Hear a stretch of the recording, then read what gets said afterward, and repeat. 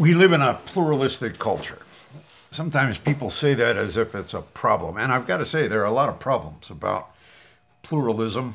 Uh, but we have to learn how to deal with the problems. But we also need to learn to how to celebrate what's good about pluralism.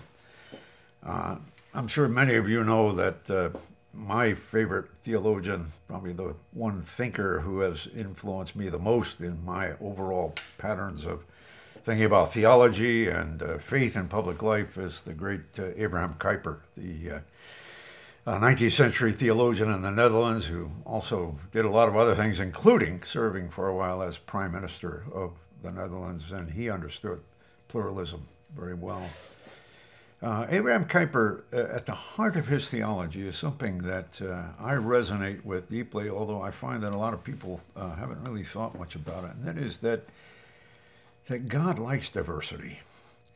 Uh, as I'm giving this uh, talk, I'm getting ready to talk to a a group of theologians um, at another part of the country about about creation care. And uh, one of the wonderful things about a theology of creation is that uh, so much happened before we human beings came along.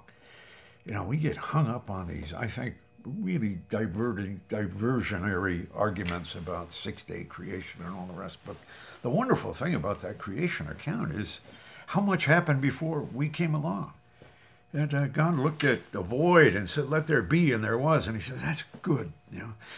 And he looked at plants. He called them into being. He looked at the plants and he said, That's good. You know, at, at a certain point, it says, and and and he and God God called life into being, and he looked at the swarms, and he said, That's good. And God looked at puddles full of slimy, swarmy things, and he took delight in that and that uh, before we ever came along, there were lots of trees and plants and animals and canyons and mountains and rivers and all the rest, and that God took delight in that. God takes delight in the diversity of the creation. The Lord rejoices in his manifold works, the psalmist tells us.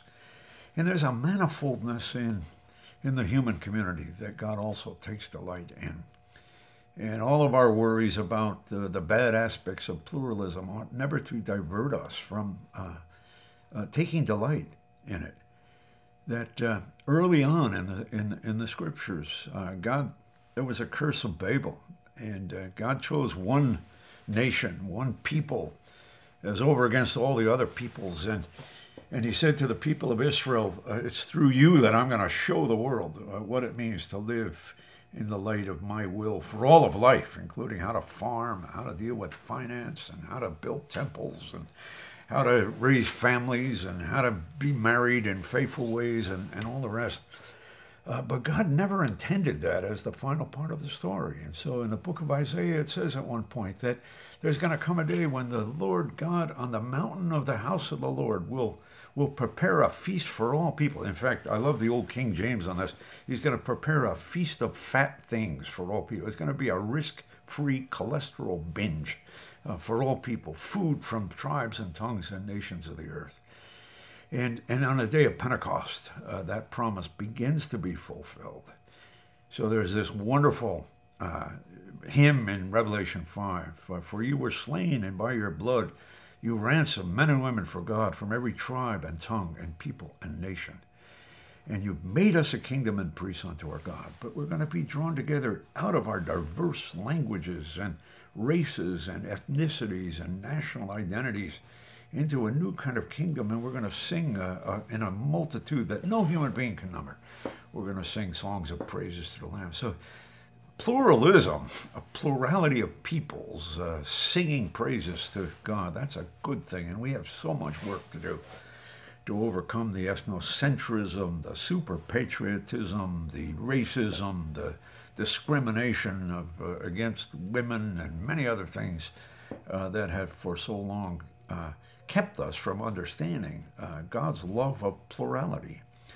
But there are bad things about pluralism, and we've got to get to that as well. But we shouldn't get to that until we understand that God likes a pluralistic society where there are different spheres of action. God likes art. God likes politics. God likes economics. God likes entertainment.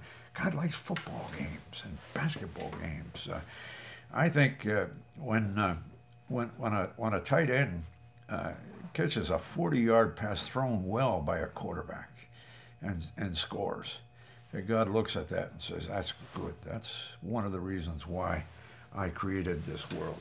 Uh, at the beginning of this uh, uh, centennial, uh, I was interviewed by Sports Illustrated. They did a cover story. Does God care who wins the Super Bowl? And I was uh, I was up against uh, a well-known Pentecostal preacher who was also a, a, really fine football player, now with the Lord.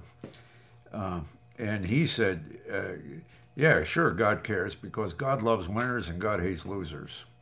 And I was pitted over against him. I'm glad that I never I had to tangle with him in person.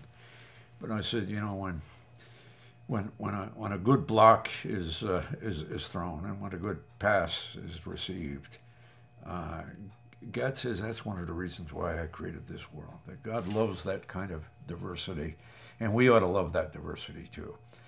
And to be civil is also to appreciate that kind of diversity, even though at the same time our convictions will put us up against pluralities of lifestyles and belief systems and superstitions and all the rest that as Christians uh, we, we, cannot, uh, we cannot feel good about or take delight in because we know that God does not take delight in certain kinds of pluralisms.